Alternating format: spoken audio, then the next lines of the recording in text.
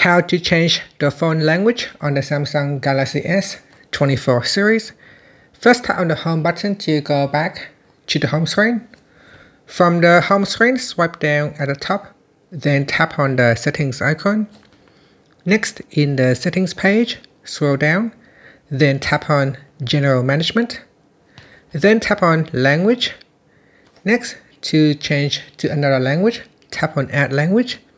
And from the list here, scroll down and select a language that you would like to use.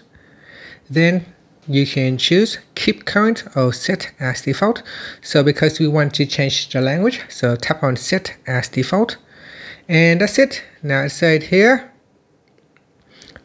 the language at the top will be used as the default. So here you can see that if I now move English to the top, that will be used as the default uh, language. So if I tap on the back key and it will change to English. So you can see here, the language at the top of the list will be used by default. If an app doesn't support your local language or doesn't support the default language, the next language in the list will be used instead. So if you want to change your system language to another language, make sure you drag it to the top like so.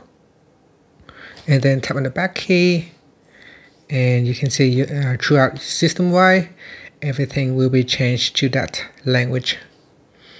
And that's it. So that is how you can change your phone uh, language on the Samsung Galaxy S24 series. And that's it. Thank you for watching this video. Please like and subscribe to my channel for more videos